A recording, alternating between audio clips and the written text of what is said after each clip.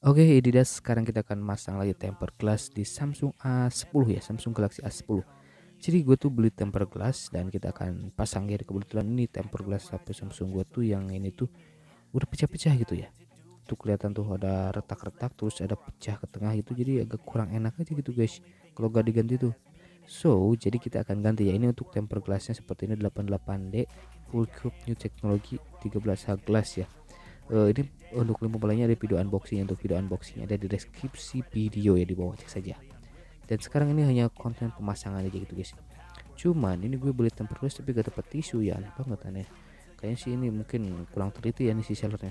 Dan itu di temper glassnya pun tuh agak kurang rapi tuh jadi kayak cat yang sampingnya ya. Jadi agak kurang rapi gitu. Ya maklum ini gue beli dengan harga berapa? 10 ribu mungkin ya. Hmm, murah banget itu Yuhan ini dia Gen Next mobil aksesoris. Nah di bawah cek aja link pembeliannya di video unboxingnya ya. Dan sekarang kita akan pasang. Ini kebetulan gue punya tisu dan bekas temper glass yang dulu gitu. Jadi dulu gue pernah beli temper glass dan dapat dua tisu ya. Jadi terpaksa gue pakai tisu yang dulu. Soalnya gini gue beli temper glass kagak dapet tisu ya aneh banget. Oke kita coba dulu temper glass yang lamanya ya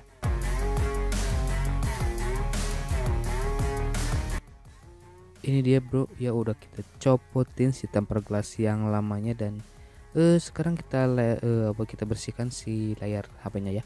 Jadi yang pertama untuk pembersihannya kita pakai uh, tisu yang nomor satu yang wet satu. Jadi yang wet satu itu tisu itu basah kita gosok-gosok secara merata sampai sebersih mungkin dan supaya debu-debu di layarnya bisa bersih itu. Oke kita bersihkan dulu aja Do you got heart? Are you mean? Got some scars, got some needs. Are you willing to go bleed? Oke ya udah untuk tisu yang pertama. Sekarang kita pakai tisu yang kedua ya. Wet 2 itu. Nah yaitu tisunya tisu yang kering ya. Jadi untuk mengeringkan si layar ya supaya bersih gitu. Oke kita bersihin lagi.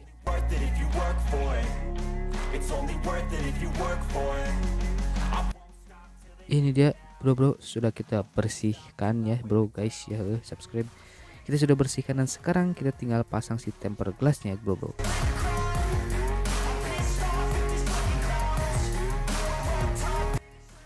Oke okay guys, lupa belum dipasang ya.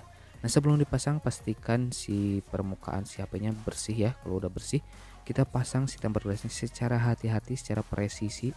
Nah pastikan atas, bawah, kanan, kirinya benar-benar presisi di si LCD-nya ya supaya gak kelihatan gak enak gitu ya supaya kelihatan enak jadi pemasangannya harus benar-benar teliti ya bro bro oke kita pasang dulu ya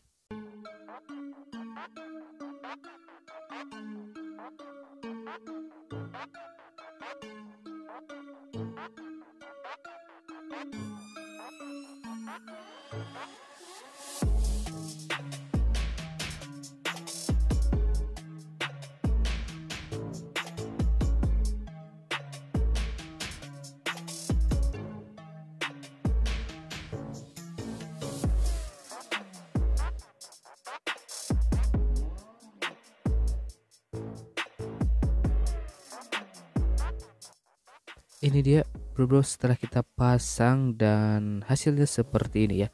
E, bentar kita lihat-lihat. Nah itu oh sebagian di bagian tengah kayak ada titik-titik masuk angin gitu ya. Nah ini disebabkan yang pertama diganti kasih tisu ya. Jadi ini tisu yang punya gue tuh tisu bagian wet satunya tuh tisu basahnya tuh udah kering. Jadi kurang bersih di permukaan ya. Aneh banget nih gue beli tempat glass kayak dapet tisu ya. Gimana ini nih?